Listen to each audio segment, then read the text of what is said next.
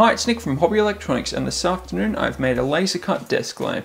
As you can see here the base is made out of MDF and I've got an acrylic uh, plate here with Hobby Electronics engraved on the front there. Underneath there on the base there's some LED strips, some blue LED strips.